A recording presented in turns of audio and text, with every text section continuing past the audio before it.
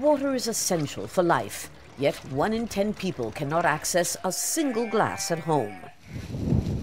Millions live too far away from rivers and lakes, or have seen their water sources contaminated, or simply disappear during prolonged drought.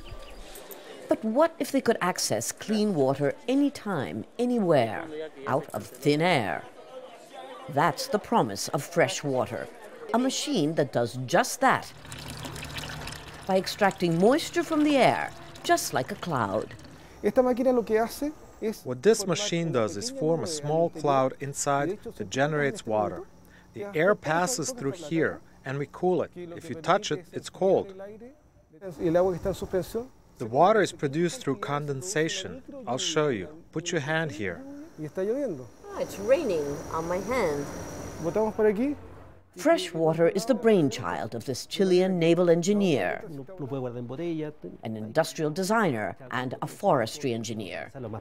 Put together the prototype in this Santiago Innovation Center called Socialab, where each startup aims to fulfill a social need. We want everyone to have a well in their home and not depend on water currents or if it rains.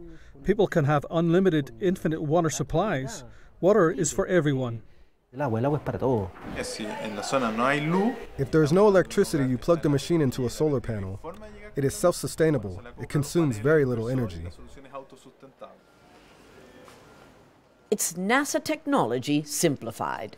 The prototype produces between 9 and 30 liters of chemical and sulfur free water a day, depending on climate conditions. It is almost 40 degrees out here. Everything is dry, as you can see, and there's practically no moisture in the air.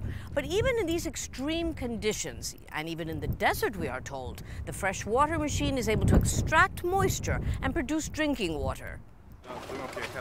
The only drawback right now seems to be the price, roughly $1,000. But its creators want to eventually make it more affordable their contribution, they say, towards quenching the global thirst for life's most basic resource. Lucia Newman, Al Jazeera, Santiago.